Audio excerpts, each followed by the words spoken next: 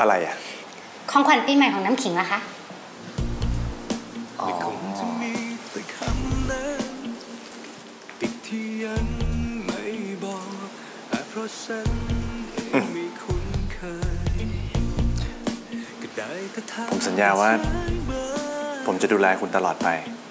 จริงๆไม่ใช่เลยมันรักเธอไปแล้วเพราะนี่แหละไม่แพ้ของขวัญปีใหม่ของผม แล้วไม่อาจฝืนมันต่อคุณไปยังอยากได้อะไรอีกไหมมันแพ้ให้เธอหมดสุดท้ายคือนี่ห้องนอนผมเธอหมดใจแต่สิ่งเดียวที่ห้องนี้จะต้องทำให้น้ำขิงรู้จักบอสเพิ่มขึ้นแน่คือคำว่ารักแน่ใจนะว่าจะเข้าไปแข็งคือฉันเองมันปากแข็งไปๆแต่ว่าน้ำขิงขอเข้าไปคนเดียวนะคะ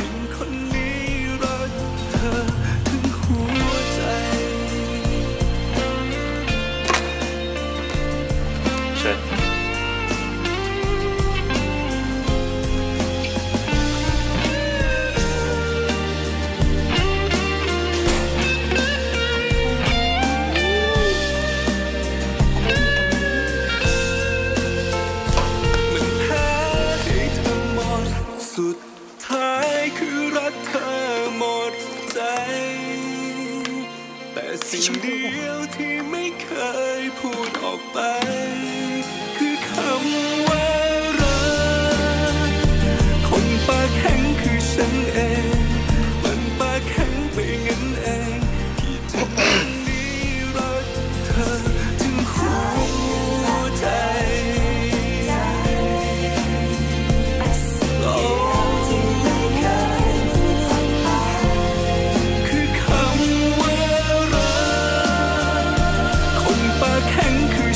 อง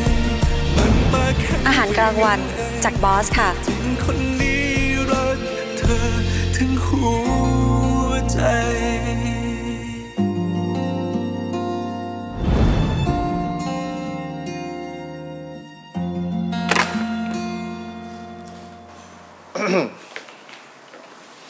นี่มันโพสต์อิทที่น้ำขิงเขียนให้ท่านประธานนี่คะ อืม แบบ นี้ก็แสดงว่า ท่านประธาน